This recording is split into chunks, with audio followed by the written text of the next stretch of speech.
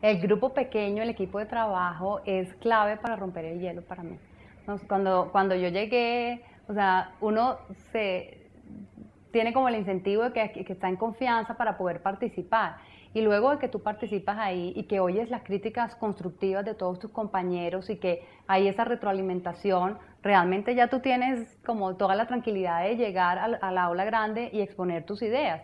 Y ya sabes ¿Cuáles son las personas que pueden pensar diferente? O sea, porque ya lo has habido en el equipo, alguien que te diga, no, no estoy de acuerdo por esto porque no tuviste en cuenta, no sé, el resultado, no tuviste en cuenta la persona. Entonces ya tú vas como más preparado, enriquece muchísimo. Esa, esa, esa hora de estudio antes de uno entrar enriquece mucho y da mucho valor para uno llegar a exponer sus ideas y poder estar abierto a otras críticas también dentro del aula.